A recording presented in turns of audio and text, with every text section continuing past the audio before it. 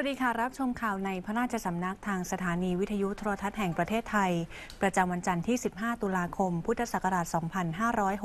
2561 สมเด็จพระเทพรัตนราชสุดาสยามบรมราชกุมารี พระราชทานพระราชวโรกาส ให้เจ้าชายริชาร์ดดยุคแห่งกลอสเตอร์ แห่งสหราชอาณาจักร และคณะเฝ้าทูลละอองพระบาท วันนี้เวลา 11นาฬิกา25 นาที สมเด็จพระเทพรัตนราชสุดาสยามบรมราชกุมารี เสด็จออกณวังสระประทุม พระราชทานพระราชวโรกาส ให้เจ้าชายริชาร์ดดยุคแห่งกลอสเตอร์ แห่งสหราชอาณาจักรและคณะ เฝ้าทูลละอองพระบาทในโอกาสเสด็จเยือนประเทศไทย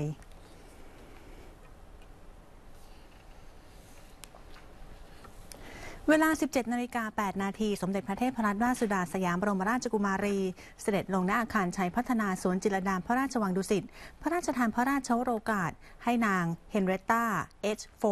ผู้อำนวยการบริหารองค์การยูนิเซฟ และคณะ เฝ้าทูลละอองพระบาทในโอกาสที่เดินทางมาประเทศไทย และทูลเกล้าทูลกระหม่อมถวายรางวัล United Nation Children's Fund Award ในโอกาสครบ 70 ปี ที่องค์การยูนิเซฟดำเนินงานในประเทศไทย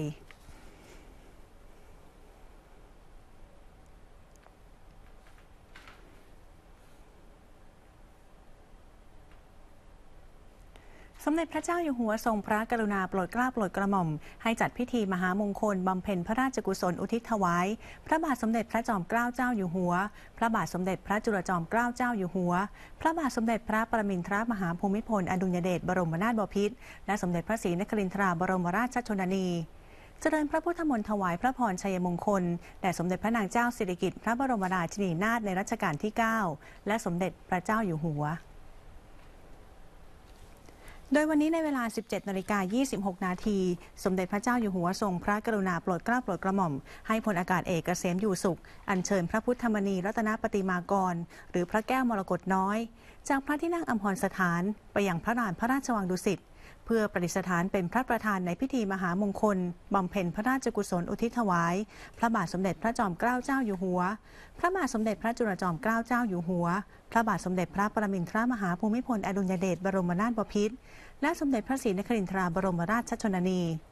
เจริญพระพุทธมนต์ถวายพระพรชัยมงคล สมเด็จพระนางเจ้าสิริกิติ์พระบรมราชินีนาถในรัชกาลที่ 9 และสมเด็จพระเจ้าอยู่หัว เพื่อให้ประชาชนได้สักการะ อันจะเป็นมงคลแก่ชีวิตและประเทศชาติ ในพิธีมีสมเด็จพระวรรณรัตน์ผู้ปฏิบัติหน้าที่เจ้าคณะใหญ่ คณะธรรมยุทธ์และเจ้าอาวาสวัดบวรนิเวศวิหารเป็นประธานฝ่ายสงฆ์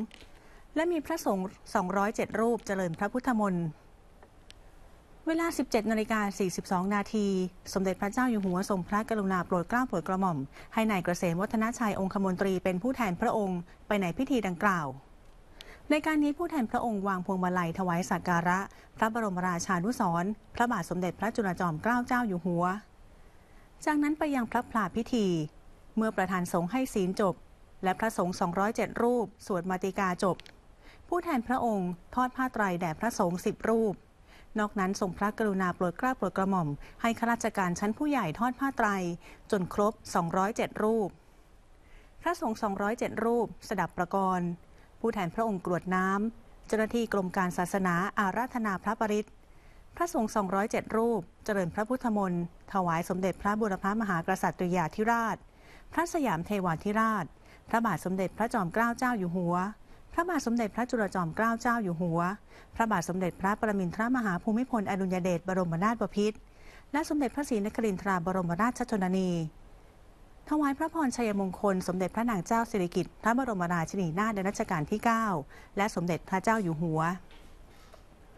นอกจากนี้สมเด็จพระเจ้าอยู่หัวทรงพระกรุณาโปรดเกล้าโปรดกระหม่อม ให้จัดพิมพ์หนังสือบทเจริญพระพุทธมนต์เพื่อพระราชทานแก่ผู้ไปร่วมในพิธีด้วย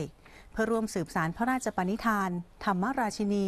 ของสมเด็จพระนางเจ้าสิริกิติ์พระบรมราชินีนาถในรัชกาลที่ 9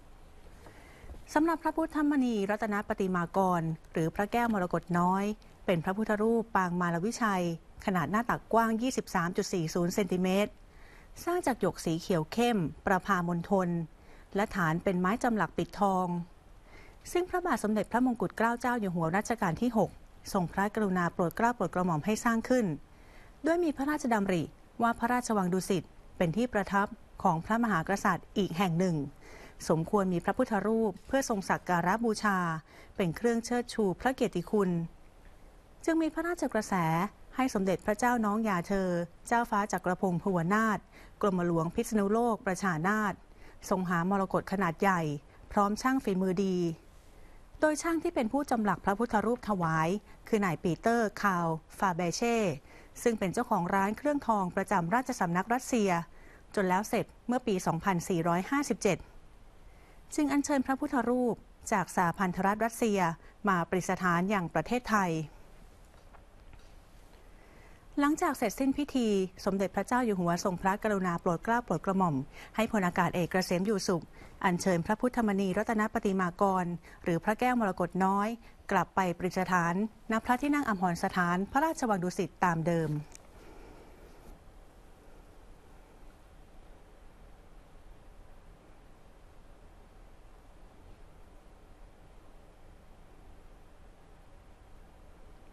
หน่วยพระราชทานและประชาชนจิตอาสาเราทำความดีด้วยหัวใจ ร่วมกันบำเพ็ญสาธารณประโยชน์ ปรับปรุงภูมิทัศน์คลองเปรมประชากรเป็นวันที่สอง เช้าวันนี้ที่โรงเรียนวัดรังสิตตำบลหลักหกอำเภอเมืองปทุมธานี จังหวัดปทุมธานี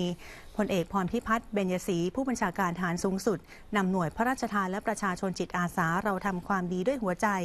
กล่าวคำปฏิญญาณตน และถวายความเคารพเบื้องหน้าพระฉายาลักษณ์สมเด็จพระเจ้าอยู่หัว ก่อนไปร่วมการบำเพ็ญสาธารณประโยชน์ปรับปรุงภูมิทัศน์คลองเปรมประชากรเป็นวันที่สอง โดยแบ่งกำลังออกเป็น 4 ชุด ในการขุดลอกดินเลนกำจัดวัชพืช ตัดแต่งกิ่งไม้ ตัดหญ้าและเก็บขยะ ตลอดแนวสองฝั่งคลอง ตั้งแต่บริเวณสะพานสารเจ้าสมบูรณ์ ถึงวัดรังสิตเป็นระยะทาง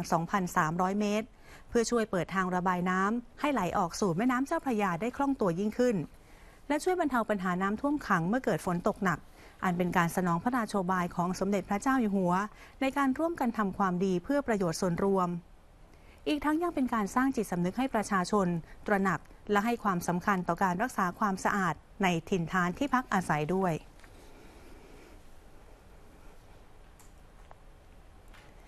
ขอเชิญชวนนักเรียนนิสิตนักศึกษาประชาชนหน่วยงานราชการและเอกชน ร่วมส่งบทเพลงประเภทเพลงไทยสากล เข้าร่วมประกวดในโครงการประกวดเพลงจิตอาสาพระราชทาน ชิงโล่พระราชทานสมเด็จพระเจ้าอยู่หัว